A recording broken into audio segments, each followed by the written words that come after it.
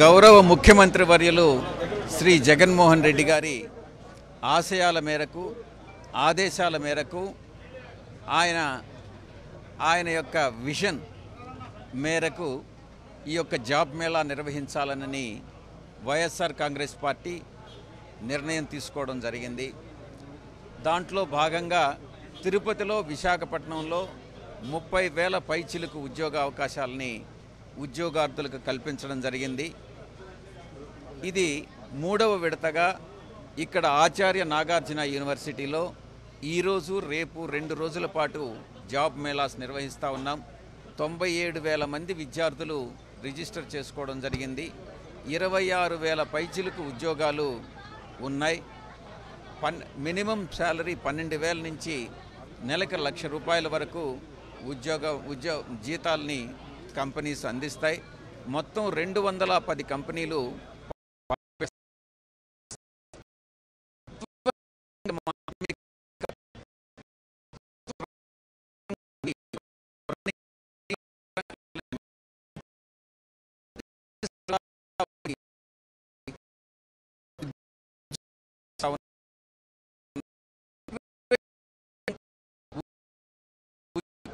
ఇంకా మిన్నగా ఉన్నాయి. ఎదుగుదల అన్నటువంటిది ఒక ఎదుగుదలకి ఒక అడ్డంకి లేదు. పర్ఫార్మెన్స్ను బట్టి క్వాలిఫికేషన్స్ను బట్టి ఎదుగుదల అన్నటువంటిది ప్రభుత్వ ప్రభు ప్రైవేట్ రంగ సంస్థల్లో ఉంటుంది కాబట్టి విద్యార్థులు కూడా ఎవరైతే అభ్య విద్యాభ్యాసం పూర్తి చేసుకున్నటువంటి వారందరూ కూడా ప్రైవేట్ రంగ సంస్థల్లో ఈరోజు ఉద్యోగాలను ప్రిఫర్ చేస్తూ ఉన్నారు. వైఎస్ఆర్ కాంగ్రెస్ పార్టీ అధికారంలోకి వచ్చిన తర్వాత ఈ యొక్క మూడు సంవత్సరాల్లో ఇంచుమించుగా ఐదు లక్షల ఉద్యోగాలు వాలంటీర్స్ దగ్గర నుంచి సెక్రటేరియట్ స్టాఫ్ నుంచి వివిధ రంగాల్లో ప్రభుత్వంలో ఐ ఐదు లక్షల ఉద్యోగాల్ని మనం ప్రొవైడ్ చేయడం జరిగింది. భవిష్యత్తులో కూడా రాబోయేటటువంటి కాలంలో ఇంకా ఒక రెండు లక్షల ఉద్యోగాలు ప్రభుత్వంలో రెండు లక్షల పైచిలుకు ఉద్యోగాలు ప్రభుత్వంలో ప్రభుత్వ రంగ సంస్థల్లో దొరుకుతాయి. ఇవి కాకుండా ఇది ఒక నిరంతర ప్రక్రియగా భావించి గౌరవ ముఖ్యమంత్రి వర్యులు ఆంధ్ర రాష్ట్రంలో విద్యాభ్యాసం పూర్తి చేసుకున్నటువంటి ఏ యొక్క విద్యార్థి విద్యార్థిని కూడా నిరుద్యోగిగా మిగలడానికి లేదు. ప్రతి ఒక్కరూ కూడా ఉద్యోగం వస్తే వారందరూ కూడా రాష్ట్రాభివృద్ధికి దేశాభివృద్ధికి తోడ్పడతారు కాబట్టి వాళ్ళ కుటుంబంలో వాళ్ళ ముఖాల్లో వాళ్ళ కుటుంబ సభ్యుల ముఖాల్లో ఆనందం వెల్లివిరియాలి అన్నటువంటి ఒక మహత్తరమైనటువంటి సంకల్పంతో ఈ యొక్క జాబ్ మేళా కార్యక్రమం నిర్వహిస్తూ ఉన్నాం. నిరంతర ప్రక్రియగా భావించి ఏ నిరుద్యోగం అన్నటువంటిది నిర్మూలించేంత వరకు కూడా ఈ యొక్క జాబ్ మేళా కార్యక్రమం అన్నటువంటిది భవిష్యత్తులో కూడా నిర్ణయిస్తా నిర్వహిస్తామనని మీ అందరికీ కూడా తెలియజేసుకుంటా ఉన్నాను. కలిసి వచ్చే పార్టీలందరినీ కలిసి రండి మనం అంతా ఏకంగా పోటీ చేద్దాం. ఎన్నికల్లో అని చెప్తున్నారు అని చెప్పి ఇప్పటికే సంకేతం కూడా ఇచ్చారు సార్. ఇది రాజకీయాలు మాట్లాడుకునే సమయం కాదు. అయినప్పటికీ కూడా మీరు అడిగారు కాబట్టి కలిసి వైఎస్ఆర్ కాంగ్రెస్ పార్టీకి ఎవరిని కూడా ఎవరితో పొత్తు పెట్టుకోవాల్సినటువంటి అవసరం లేదు. ఎవరైతే భయపడుతున్నారో ఎవరికైతే ప్రజల సపోర్టు మద్దతు లేదో వారు ఇంకొకరి మద్దతు కోసం ఎదు ఎదురు ఎదురు చూస్తూ ఉంటారు. చంద్రబాబు నాయుడులో ఆయనకి ఒక కాన్ఫిడెన్స్ లేదు.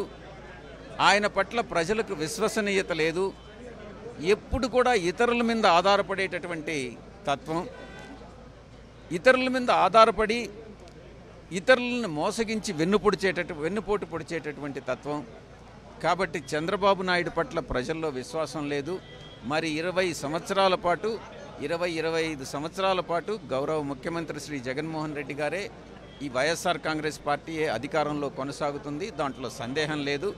ఎవరు ఎవరితో పెట్టులు పెట్టుకున్నప్పటికీ కూడా వైఎస్ఆర్ కాంగ్రెస్ పార్టీ గతంలో సాధించినటువంటి ఓట్ల ఓట్ల ఓట్ల శాతం కానీ సీట్లు కానీ అంతకన్నా ఎక్కువే వస్తాయి కానీ తక్కువ రావు.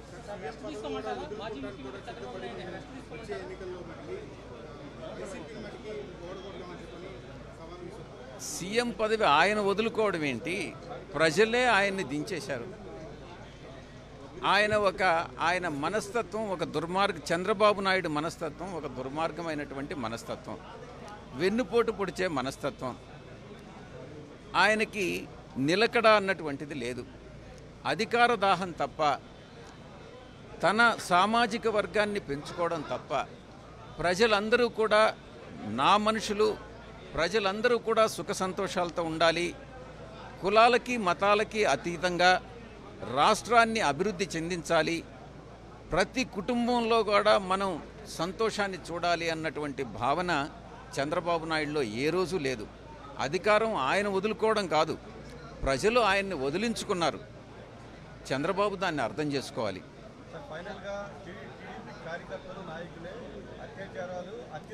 ముమ్మాటికి నిజం.